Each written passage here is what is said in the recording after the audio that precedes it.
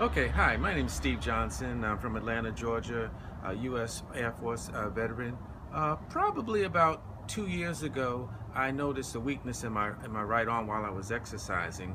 Fast forward uh, about four months, I'm in front of a neurosurgeon um, and he examines me.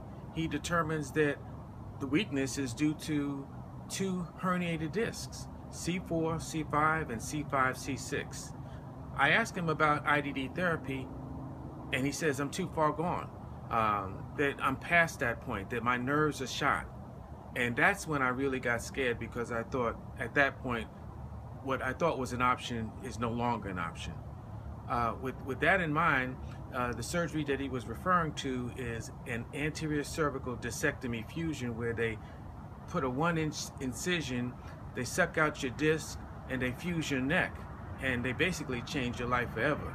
Uh, so with that being said, I had to seek a second opinion because the older you get, the farther you want to be away from a knife.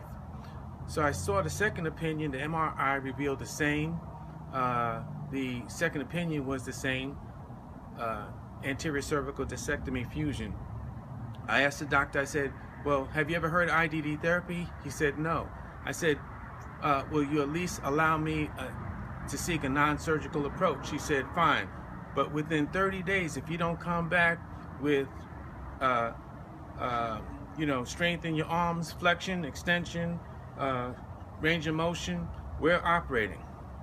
Let me just say this. I am so glad I found IDD therapy because a month later I came back in and their, their mouths hit the floor. They could not believe that I reestablished strength and endurance, range of motion, strength, flexibility, and the atrophy that was there in terms of my muscle tone was coming back. So I just want to say that because of IDD therapy, I got my life back and more importantly, I, I stayed away from the knife.